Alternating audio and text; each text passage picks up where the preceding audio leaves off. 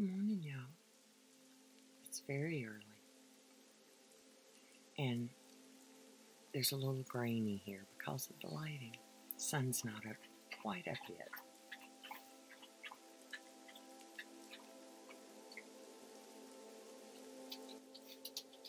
yet. this is going to be uh, a little bit different of a video. Many of you who have followed me for a while, followed my channel here, um, have heard me read from the scriptures. And it's something that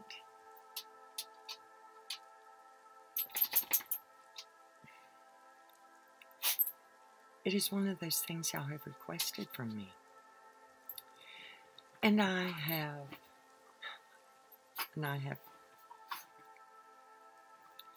Devil Dog. I recognize a distraction when I see one to keep me from doing this. Now, is that Father? Father who said so many things to me as I heard this scripture being read to me this morning on my Bible app on my phone. It's Psalm 37. And I thought, well, normally what I would do is take the time to sit and write. And for those of you who do not realize how much time I spend writing, I've spent so much time writing, looking down, that it messes with my neck. Um, real akin to pulling a bale of straw out of a hold. However, this, I know everybody, everybody has one or knows somebody that did, and I talked to, let's see, here it is. It's a cyst. And usually it's because of you're doing work with your hands. People who crochet, knit, and apparently write incessantly. and they used to refer to it as a Bible cyst because that was the way to fix it. And the man I spoke with yesterday, we were talking about it, I had a doctor actually do what you're supposed to do to get rid of it. It's the best thing is to take the biggest book in the house, which was usually your Bible, have the person lay their hand flat on the surface, and then you smack it with the book.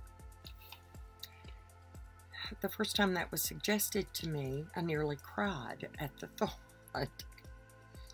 If you'll notice, my, can you tell? Yeah, my fingers are a little wonky from arthritis. And they're little, please don't smash my hand with a book. What's it got to do with Psalm 37, Betty? I was going to write it. But I decided I'm going to try something new. I'm going to read it. And I'll say the things that Father leads me to say. And we'll see how it turns out. My prayer is that you will be blessed. I pray, that you will use my voice and these words to minister to your people, to remind them of who they are and what they are to be about. I pray that you will bring shalom. I pray that you will bring wisdom, courage in these end of days. Make us bold. Make us brave.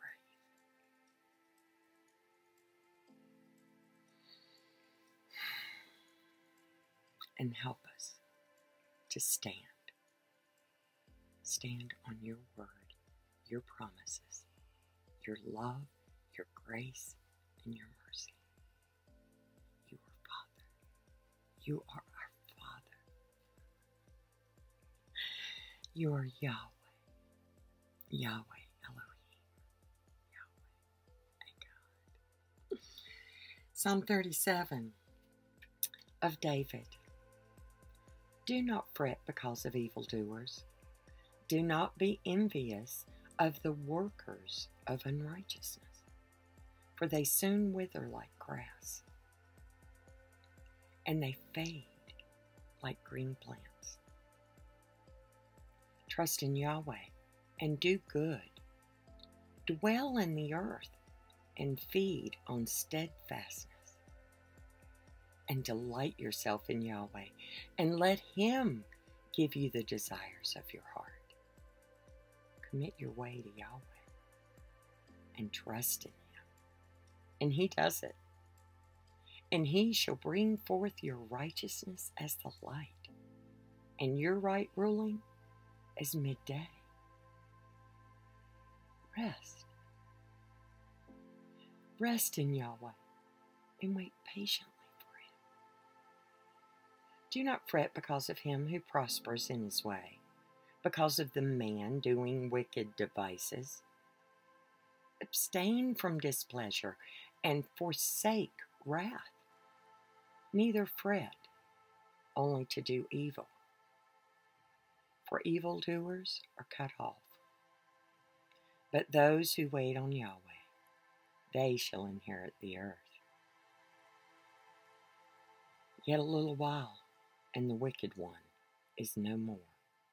And you shall look on his place, but it is not. But the meek ones shall inherit the earth and delight themselves in plenty of peace. The wicked plots against the righteous and gnashes his teeth at him. Yahweh laughs at him, for he sees that his day is coming. The wicked have drawn the sword and have bent their bow to cause the poor and needy to fall, to slay those who walk straightly. Their sword enters into their own heart, and their bows are broken. Better is the little of the righteous one than the riches of many wicked. For the arms of the wicked are broken, but Yahweh, He sustains the righteous. Yahweh knows the days of the perfect, the set apart. And their inheritance is forever. They are not ashamed in a time of evil, and in the days of scarcity of food, they are satisfied. But the wicked shall perish, and the enemies of Yahweh, like the splendor of the meadows, they vanish. Like smoke, they vanish away. The wicked borrows and does not repay, but the righteous one shows favor and gives. For his Baruch ones inherit the earth, but those cursed by him are cut off. The steps of a man are ordered by Yahweh, and he delights in his way. Though he falls, he's not cast down, for Yahweh is supporting his hand. I have been young, and now I am old. Yet I have not seen the righteous forsaken, or his seed begging bread. All day long, he is showing favor and lending, and his seed is for a barakah, a blessing. Turn away from evil, repent, and do good, and dwell forever.